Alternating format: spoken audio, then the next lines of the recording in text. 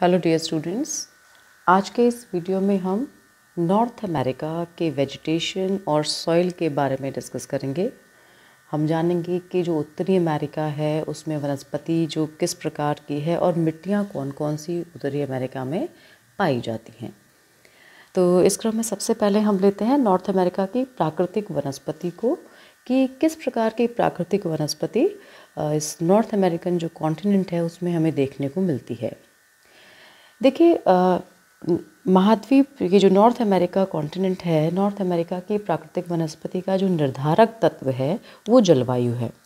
और देखा जाए तो हर क्षेत्र की वनस्पति का जो निर्धारक तत्व, क्लाइमेट ही होता है, जलवायु होता है। जिस प्रकार की जलवायु होती है, उसी प्रकार की प्राकृतिक वनस्पति उस क्षेत्र में पाई जाती है। और जलवायु की विविधता के अनुरूप ही प्राकृतिक अनु वनस्पति में हमें विविधता देखने को मिलती है।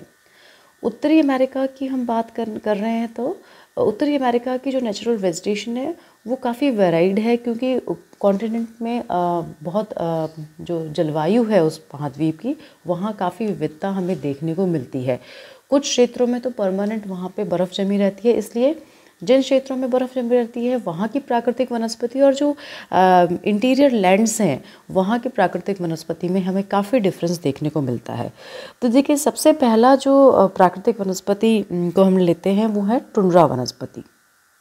ये जो टुंड्रा टाइप का क्लाइमेट है, ये बेसिकली इस प्रकार का क्लाइमेट है। टुंड्रा वनस्पति उसी टुंड्रा टाइप के क्लाइमेट में पाई जाती है। जहाँ पर nine months totally frozen conditions रहती हैं। सर्दियाँ नौ महीने चलती हैं वहाँ पर और केवल थ्री मंथ्स ही वहाँ पर थोड़ी समर्स का टाइम आता है। तो कनाडा का उत्तरी क्षेत्र, ग्रीनलैंड, अलास्का वाला जो भाग है, वहाँ हमें टुंड्रा टाइप ऑफ़ क्लाइमेट का विस्तार देखने को मिलता है। या उन, हम कह सकते हैं कि कनाडा के उत्तरी क्षेत्र में, ग्रीनलैंड में और अलास्का में टुंड्रा क्लाइमेट पाया जाता है। और इस क्लाइमेट नॉर्मली देखा जाए तो नाइन मंथ्स वर्ष भर ही मान लीजिए आप, हिमाच्छादन यहाँ पर रहता है।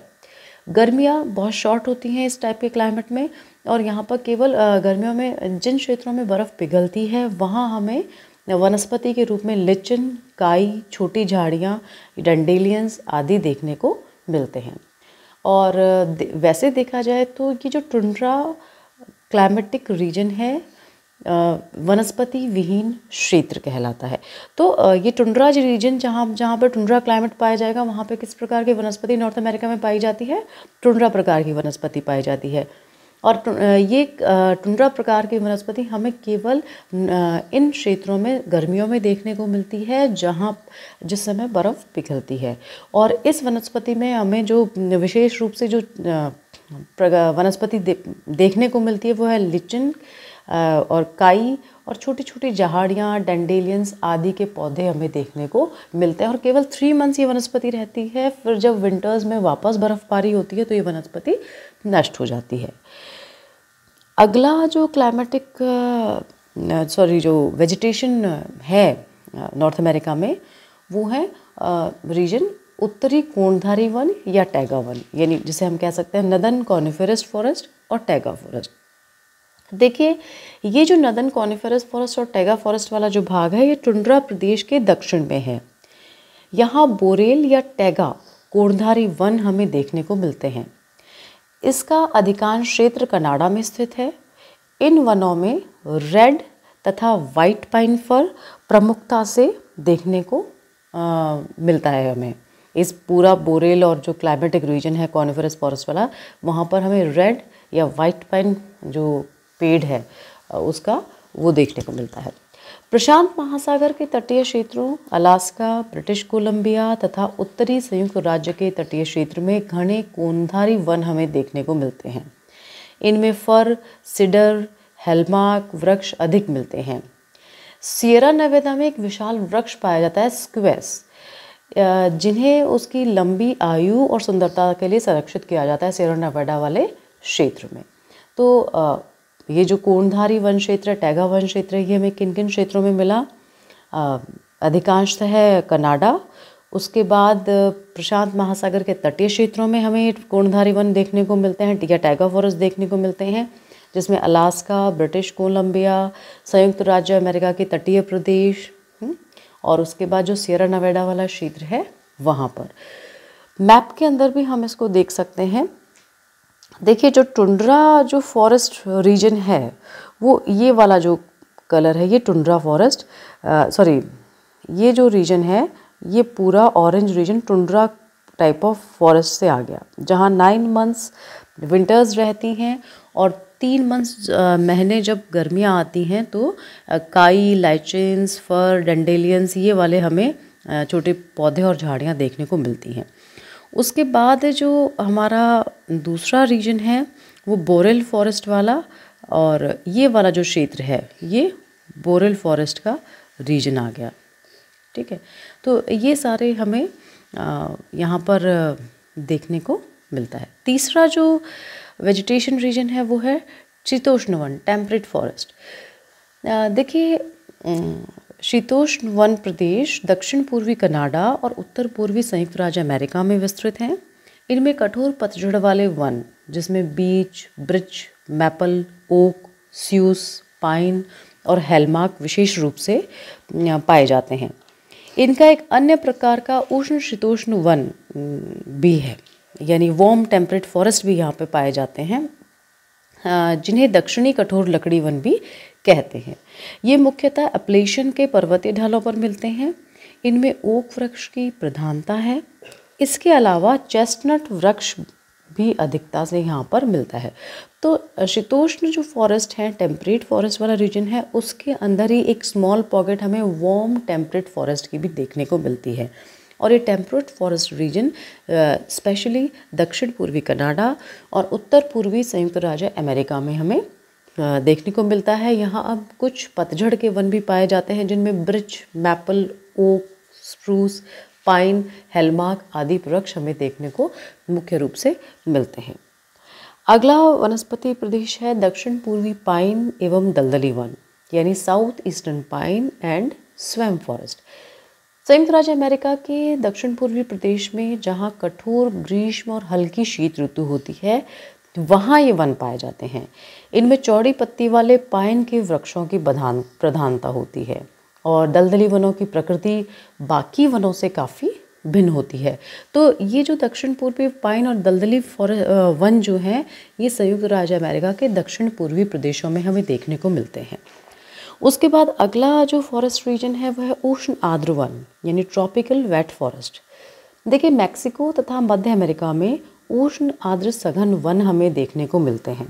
यानी अगर पूछा जाए कि ट्रॉपिकल वेट फॉरेस्ट कहाँ मिलते हैं तो मैक्सिको और मध्य अमेरिका में हमें ट्रॉपिकल वेट फॉरेस्ट मिलते हैं। क्योंकि यहाँ वर्षा बहुत ज़्यादा होती है।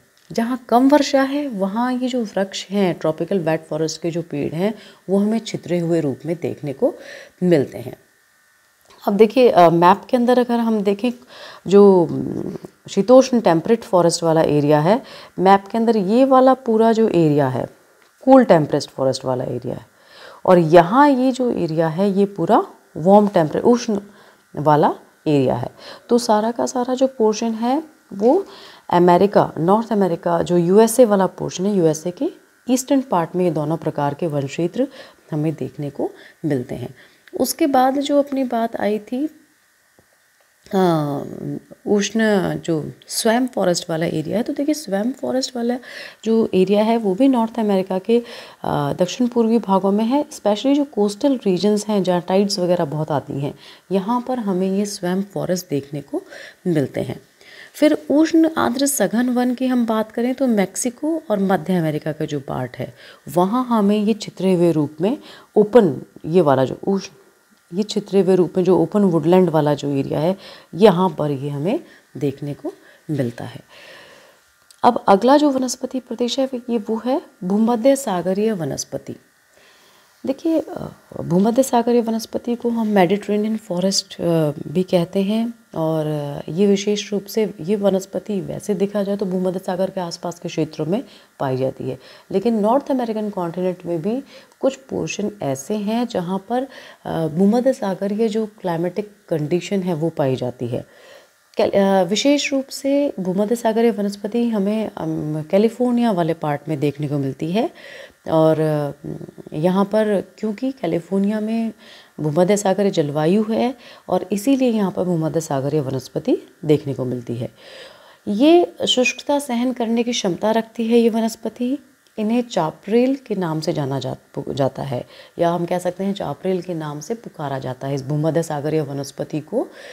और इसमें सदाबहार वृक्ष भी पाए जाते हैं झाड़ियाँ भी हैं उसके बाद ओक के वृक्ष भी हैं चेरी भी हैं सुमक के वृक्ष भी हैं। ये सब हमें प्रधानता से यहाँ पर देखने को मिलते हैं।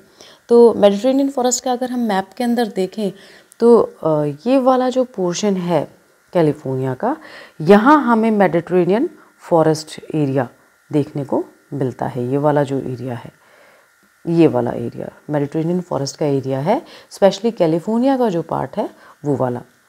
उसके बाद आता है प्रेरी वनस्पति देखिए प्रेरी जो हैं, वो ग्रासलैंड्स हैं, जिन्हें हम टेम्परेट ग्रासलैंड्स भी कहते हैं। और इस रीजन के अंदर कुछ फॉरेस्ट ट्रीज़ भी हमें देखने को मिलते हैं।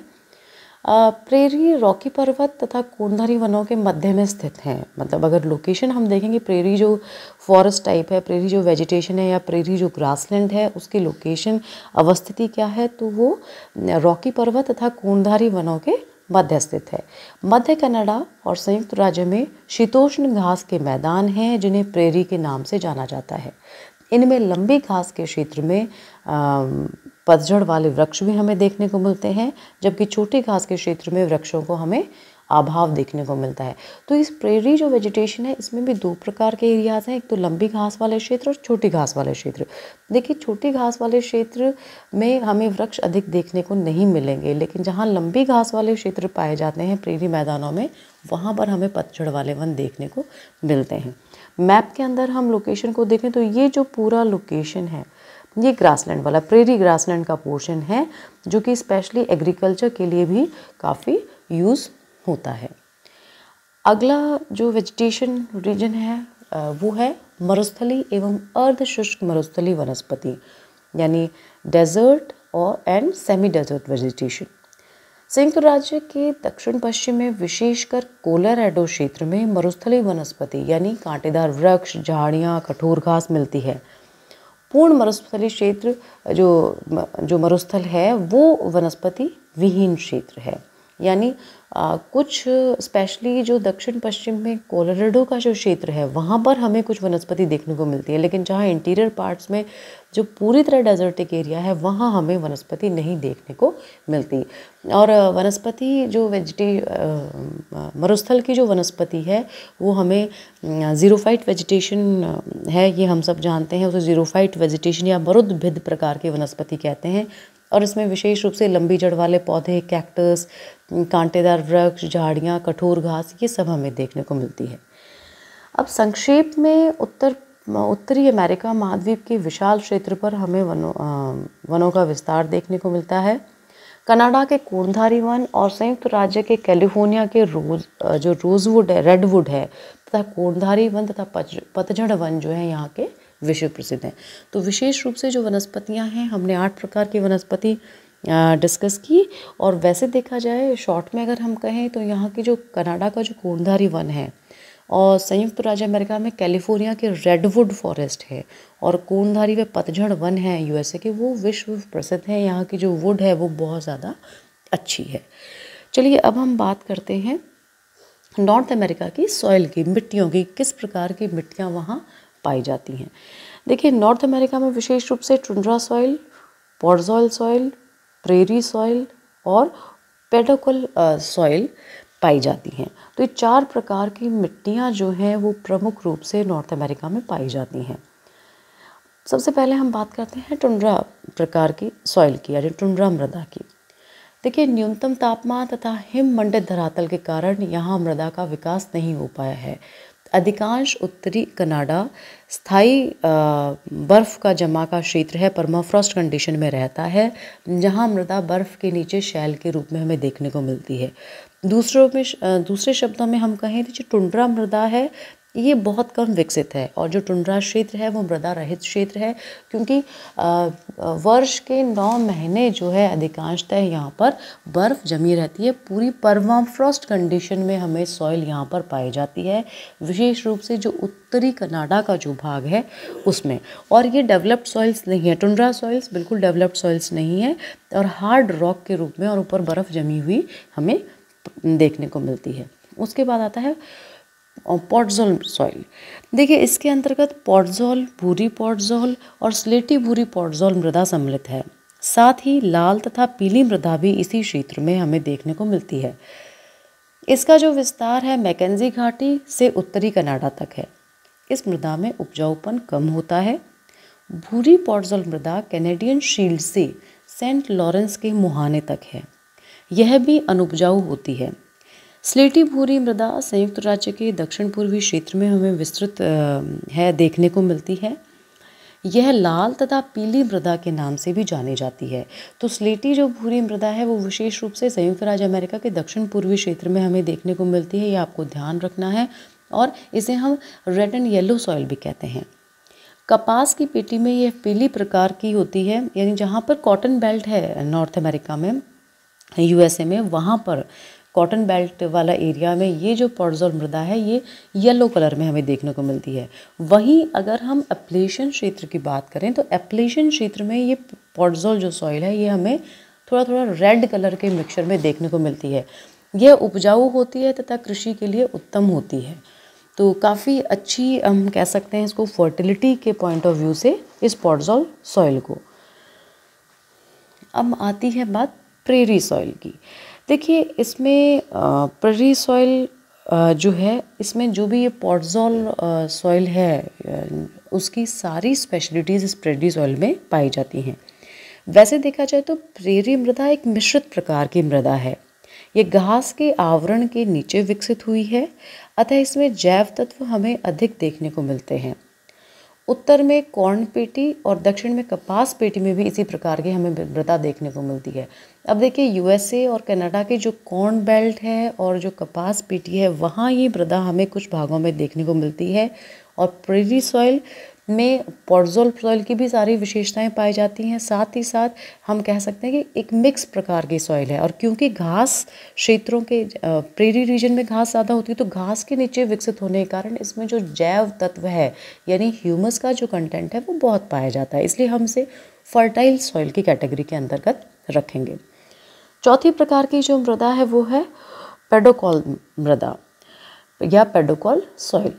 देखिए, इस मृदा समूह में सम्मिलित चिरडोजम या काली मृदा एक संकीर्ण पेटी में उत्तर से दक्षिण में प्रेरी मृदा के समानांतर विस्तृत है। ये जैववंश तथा चूना युक्त है, यानी पेडोकॉल सॉइल जो है पेडोकॉल सॉइल के अंदर चिरडोजम सॉइल भी आती हैं और ब्लैक सॉइल भी आती हैं। यानी जहाँ जिन क्षेत्रों में चिरडोजम मिट्टी पाई जाती है और काली मृदा पाई जाती है, उसको हम सम्मिलित रूप से पेडोकॉल मृदा की कैटेगरी के अंतर्गत रखते हैं। और ये एक प्रेरी मृदा के समानांतर ही, इसका जो क्षेत्र हैं प्रेरी मृदा वाले, उनके समानांतर ही हमें ये देखना, इस मिट्टी का पेडोकॉल मिट्टी का विस्तार पाया जाता है। और ये मिट्टी एग्रीकल्चर पॉइंट ऑफ़ व्यू से पेडोकॉल सॉइल बहुत इंपॉर्टेंट है और जो फ़ूड क्रॉप्स का प्रोडक्शन है, वीट और दूसरे जो खाद्यान्नों का उत्पादन है, उसके लिए काफ़ी उपयुक्त है। इस मिट्टी में, पेडोकॉल मिट्टी में हमें जैवंश भी पाए जाते हैं और चूना युक्त जो चूने की जो कम अमाउंट है, वो भी हमें पाई जाती है स्पेशली चिरनोजम सॉइल में। ब्लैक सॉइल में जैवंश के साथ साथ आयरन का जो कंटेंट है, वो भी हमें पाया जाता है। और इसी में चेस्टनट सॉइल भी है, जो गहरे भूरे रंग की होती है। पेडोकॉल ग्रुप में ही आती है चेस्टनट सॉइल और इसी के साथ ही ये पूरा भूरी जो मृदा है, उसका विस्तार हमें देखने को मिलता है। उसके बाद हम पेडोकोल मृदा, ये तो मुख्य मृदा ग्रुप हुए। उसके बाद कुछ डेजर्टिक जो एरियाज़ हैं यूएसए में, वहाँ हमें डेजर्ट सॉइल भी देखने को मिलती है। विशेष रूप से कोलोराडो का जो पठार है, जो शुष्क क्षेत्र है वहाँ पर। लेकिन जो मेन ग्रुप्स हैं, वो हमारे चार हैं। केवल एक स्मॉल पॉकेट में हम कह सकते हैं, जहाँ यूएसए में मरुस्थलीय भाग है, वहाँ पर जो डेजर्ट सॉइल हमें देखने को मिलती है। और पैडागोल ग्रुप में आपको ध्यान रखना है, जो चौथा ग्रुप है, उसमें चिरनोजम भी आएगी, काली मिट्टी भी आएगी चेस्टनट सॉइल भी आएगी।